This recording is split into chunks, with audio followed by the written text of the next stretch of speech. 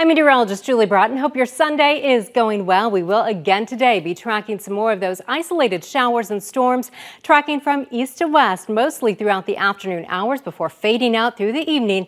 And then tomorrow we bump the chance of rain up just slightly as we head into our work week. Tropical development for us looking pretty good. We are watching two different waves, each with a slight chance of development, only about 20%, so no major concerns there. Now, if you are heading to the beach today, we're looking at temperatures along the coast in the upper 80s, but that rip current threat today moderate to high, so do make sure that you swim near a lifeguard.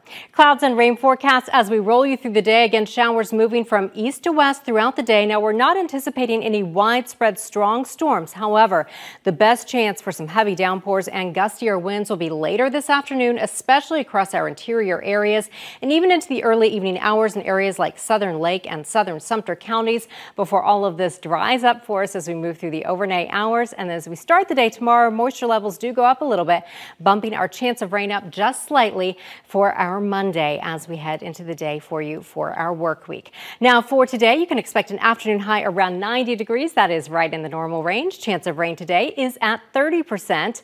And as we take you through your overnight hours, we fall back to around 74 degrees. Here's a look at the next seven days for you. No big changes in there. We're talking about highs hovering right around 90 degrees each and every day. Rain chances do go up to 50% by tomorrow and 60% for Tuesday and Wednesday. And that's where we leave it for the rest of the work week. Overnight lows stay muggy in the low to mid 70s.